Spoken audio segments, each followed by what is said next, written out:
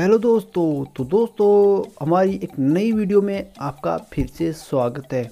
आज मैं आपके साथ शेयर करने वाला हूँ Poco X four pro five G mobile का रिव्यू जी हाँ दोस्तों, मैंने इसको एक वीक यूज़ किया है, उसके बाद मैं आपको रिव्यू बताऊँगा। तो सबसे मुझे बेस्ट जो अच्छी चीज़ लगी, वो इसका है बैक पैनल जी हाँ दोस्तों, इस पर जो एक लाभ आपको लाइन दिख रही होगी, जैसे मैं इसको एक सनलाइट में आपको दिखा देता हूँ।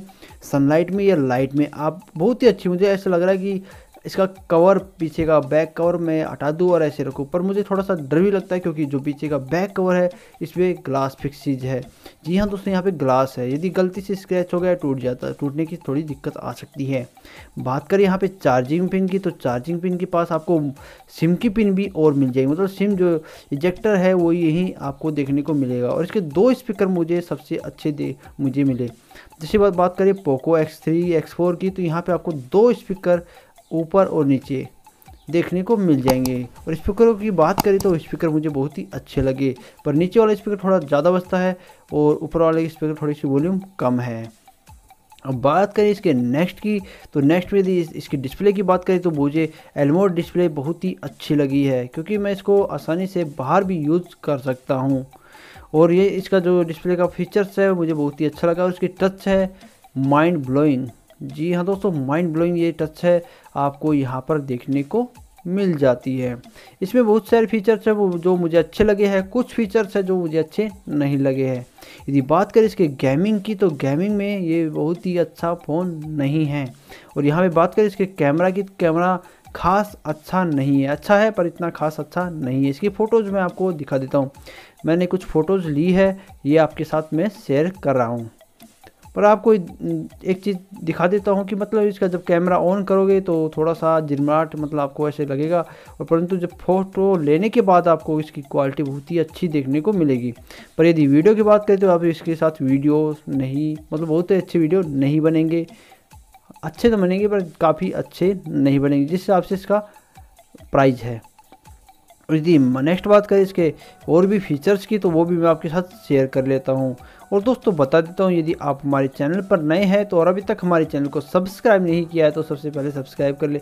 और यहाँ पे जो ही एम मतलब सॉरी एम आई और पोको में जो आपको देखने को मिल जाएगा कि लेफ़्ट साइड को नीचे करोगे तो आपको नोटिफिकेशन राइट राइट साइड से इसकी कुछ सेटिंग्स आपको देखने को मिल जाएगी। और बात करें यहाँ पे लॉक की तो ये भी मुझे बहुत ही शानदार लगा। वैसे आज के टाइम में जो फिंगर अनलॉक है, वो ज़्यादातर राइट हैंड में देने लग गए पर यहाँ पे स्टार्टिंग में इसमें पुश का जो पुश के बाद में ही आपका लॉक अनलॉक होगा।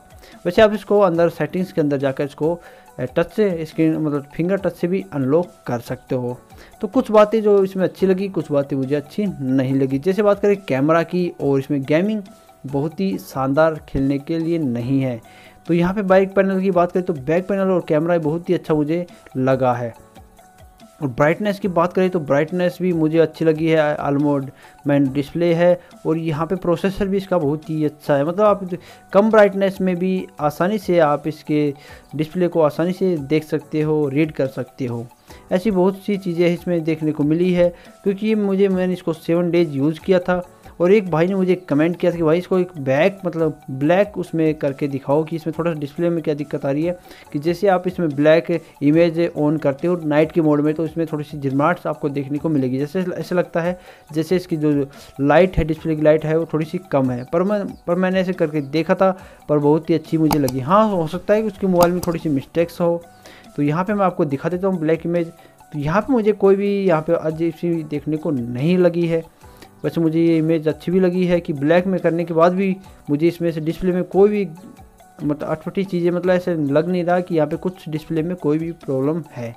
और बाकी मुझे बहुत ही शानदार मोबाइल लगा। यदि बात करिए कैमरा और गेमिंग की तो कैमरे वाले को बता देता हूँ, इसका गुड कैमरा है, ज़्यादा बेस्ट नहीं है। और गेमिंग की बात करें तो गेमिंग भी गुड है बेस्ट नहीं है। इस प्रकार मुझे बहुत सी चीज़ इसमें अच्छी लगी। और दोस्तों, ये थी, और बाकी मतलब नेक्स्ट मैं एक वीडियो लेके आ रहा हूँ, इसको अच्छी तरह से यूज़ करूँगा। उसके बाद मैं आपको एक नए नए फीचर्स के साथ नई नई चीज़ों के साथ मैं आपको लाकर एक नया वीडियो आपके साथ शेयर करूँगा। तो दोस्तों, इस प्रकार मैंने आपको बहुत सारी चीज़ें आपके साथ शेयर कर दी है और आपको अच्छी लगती है तो लाइक ज़रूर कर देना वीडियो को और चैनल पर नए हैं तो सब्सक्राइब ज़रूर कर देना, क्योंकि बहुत से लोग हैं और कोई भी यदि इससे रिलेटेड आपको कोई भी इशू है तो कमेंट बॉक्स दे रखा वहाँ पर जाकर कमेंट कर सकते हो। और एक बात बता देते हो यहाँ पे आपको सिक्स जी और वन ट्वेंटी आपको यहाँ पे रैम और रोम है, पर यहाँ पे आप ऊपर की तरफ़ देखो, जैसे मैं दिखा देता हूँ, इसमें टू जी एक्स्ट्रा रैम आपको मिल जाएगी। जी हाँ दोस्तों, मैं आपको दिखा देता हूँ और एम यू आई की बात करें तो इसमें थर्टीन है। और यहाँ पे एक्स्ट्रा चीज़ के बारे में बात बता देता हूँ, मैं आपको दोबारा अंदर जाके दिखा देता हूँ इस मोबाइल के अंदर। तो यहाँ पे जैसे मैं यहाँ पे क्लिक करता हूँ क्लिक करने के बाद यदि आप इसके आल स्पेसिफिक पे क्लिक करोगे तो उस पर आपको टू जी रैम एक्स्ट्रा देखने को मिल जाएगी। वन ट्वेंटी एट जी तो रोम है, परंतु one six G plus two G RAM extra मतलब एट जी रैम आपको यहाँ पर देखने को मिलती है। तो इस प्रकार मैंने आपको सारी चीज़ें मैंने आपके साथ शेयर कर दी है। यदि आपका कोई सुझाव है इसी वीडियो से रिलेटेड तो हमें कमेंट बॉक्स दे रखा वहाँ पर जाकर कमेंट कर सकते हो। और कोई भी इशू है तो कमेंट बॉक्स में जाकर कमेंट कीजिए। बाकी बातें करते हैं हम नेक्स्ट वीडियो में। जय हिंद, जय भारत।